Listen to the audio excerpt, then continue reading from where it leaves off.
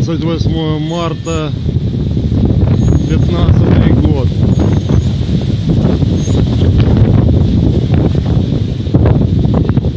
Ураганный ветер.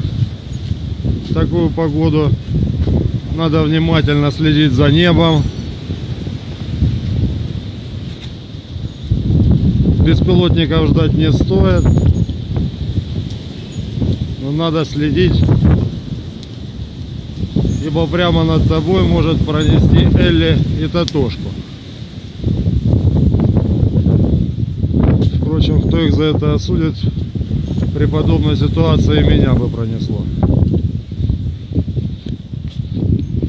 28 марта 15 год 15.20 по Киеву вечером переводим часы